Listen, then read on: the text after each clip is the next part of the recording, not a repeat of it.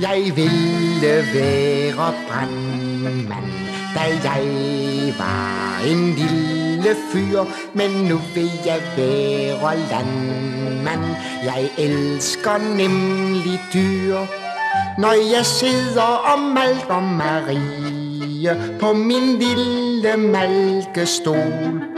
Ja, så bliver hun så kold som en kvie, se hun stråler som en sol. Jeg hiver med juver Med halen slår hun smut.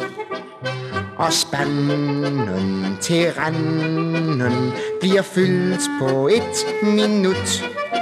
Hør, du må følge bedre med tiden. Skøn din mælk er fed og fin. Men det går sådan før eller siden At du også giver benzin.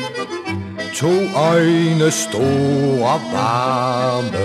Du virker lidt dum, men rar. Du har den samme charme Som filmens største star. Når jeg sidder og Malcolm Marie Går det hele som en leg. Jeg er sikker på, der kunne blive En slags cowboy ud af mig på landet ved vandet, du store by, farvel. Som rygter, jeg frygter, du keder dig ihjel. Når jeg sidder om Malcolm Marie, så er livet åh så skønt. Hvordan pokker bliver mælken, Marie, sådan hvid, når græs er grønt. Herude bliver man digter Langt borte fra byens støj. Her er så mange pligter. En stald bliver fyldt med møg. Når jeg sidder og malker Marie Falder tiden aldrig lang.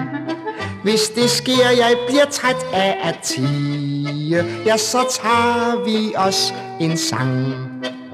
Mu, mu, mu, mu, mu. Den sang er så bekendt.